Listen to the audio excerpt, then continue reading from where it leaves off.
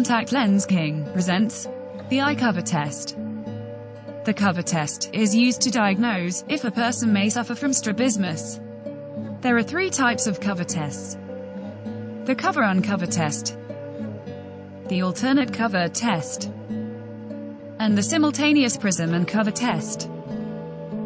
The cover uncover test is used to detect the presence of strabismus.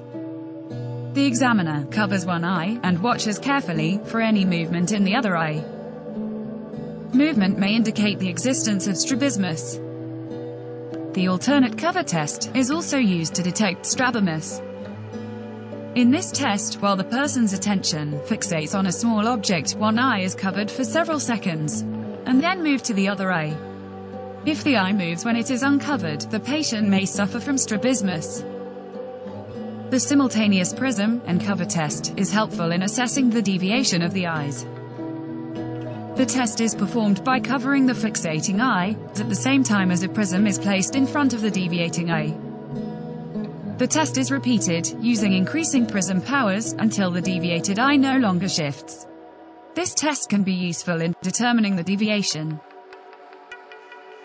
Although strabismus impacts approximately 4% of the population, if treated in time, the disorder can usually be resolved. For more information on this and other eye-related topics subscribe to our YouTube channel. Thank you.